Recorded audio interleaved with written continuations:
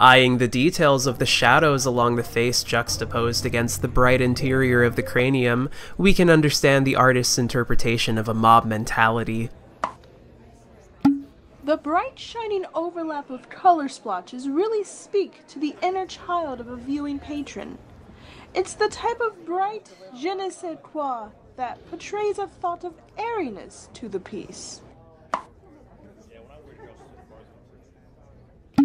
In homage to Blixen, Tenkel Gamelgard's brilliant use of layered paints as a whisper of words into an otherwise blank canvas. A true artistic visionary. Though the room is empty, one can still feel the presence of a being through the lights, peering through the window, whispering in. Brilliant. Absolutely brilliant. She's big eyed and curious, as though she is well aware of her innocence, her freedom as she traverses the garden. A metaphor, of course, for life.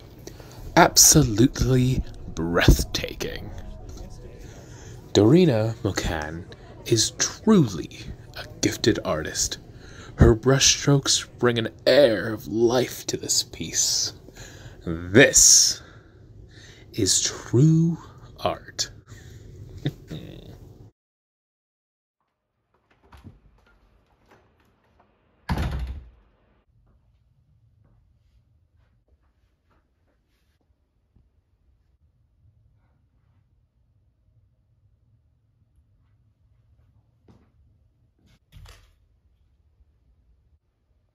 the colors they a critic can say Midge Coulson's piece Women by a Waterfall is like a simplistic childlike approach. Mitch Col Coulson's piece Woman by Waterfall it sucks. It's bad. God. Mitch Coulson, as an artist, uh, was too lazy to even blend out the colors. It shows laziness in her work. I, she didn't even have time to blend in or map out anything. I mean, this was supposed to be a beautiful approach on womanhood and the, the freedom of, of women and it's trash. Mitch Coulson should not be an artist.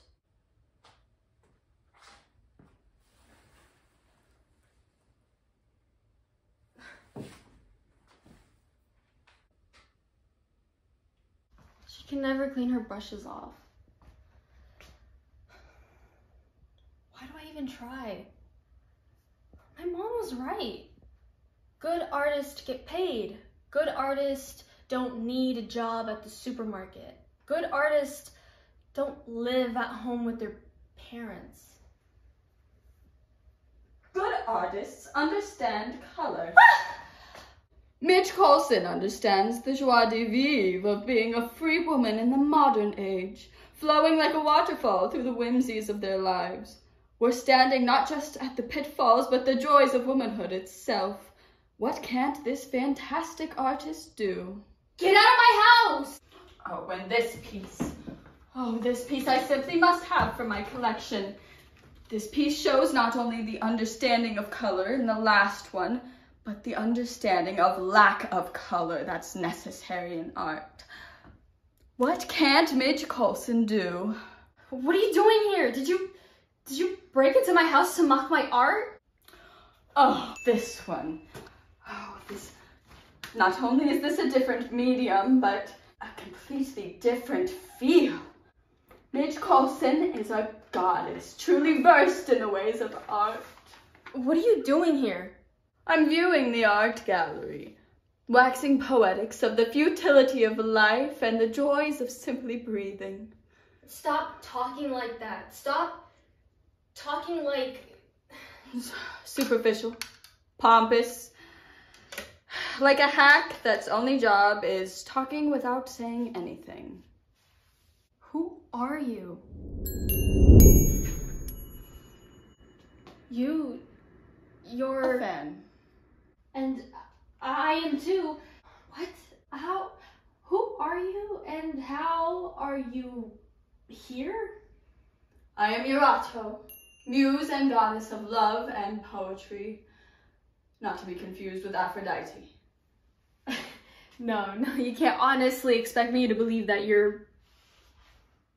A goddess who came down in the form of your favorite art piece. If that's the story you're going with. It is. And let's just be glad that you weren't in love with Picasso. I'm here to inspire you. Why haven't I heard of you before?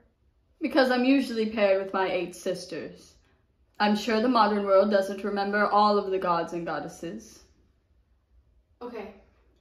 Okay, if I'm gonna go along with this, uh, why didn't they send down the goddess of art? The the goddess of painting or whatever.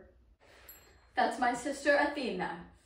She's very busy at the moment, and sometimes we take over when she can't come down. So I'm so impressive as an artist that they sent a B-list goddess to talk to me? No, of course not. I came down here to visit you myself. What? Why? You have loved art ever since you were born.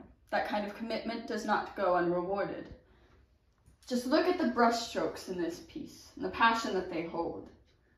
I was just using that tile to clean my brushes in between color changes. And look at the care and love between each and every stroke. Face it, I'm bad at art. I'm not gonna make any money off of this. I have to give up. Who says that capital is the one way to define true art? Ronald Reagan, probably. Many great artists have been lost in the sea of free market, their souls sucked dry by, by the need to survive in a brutal world controlled by golden towers. Huh. Very eloquently said. Darling, I'm the goddess of lyrical poetry for a reason. Fatal flaw comes to any great artist at the perception of failure for monetary gain. True art is shared through the soul. But Yurdo, how am I supposed to make a Darling, living this off of- part is always hard. Not every artist can make a living off of the work, as amazing as that would be. Then what are you doing here? If I can't live off of this this crap, then why am I being visited by the goddess of romantic poetry? Remember this one? Just look at the soul of it. It belongs in the trash. More like bold and brash. What's the story behind it? I just made it when my boyfriend broke up with me in high school. Oh. But you know what I see? I see the awakening of a little girl to a cruel world. A place where men let the toxic qualities of their nature take over and pollute the beauty of the world. Yeah, well, you're right. I did realize that I liked girls after this, huh? That's what I see. Oh, or where is the. Ah, What? this one. Remember when your dad left for the Navy? You didn't really understand what the inside of a military ship looked like, but you knew what a cruise ship looked like.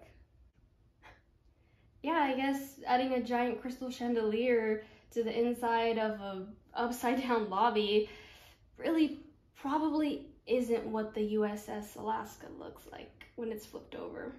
Hey, you were 14 and knew nothing about the military. It's the thought that counts. Yeah, I I did miss him. I'm glad he came back. Too bad you think this piece is horrible. I think it's beautiful. No, no. This one's good. Toxicity is, though, right?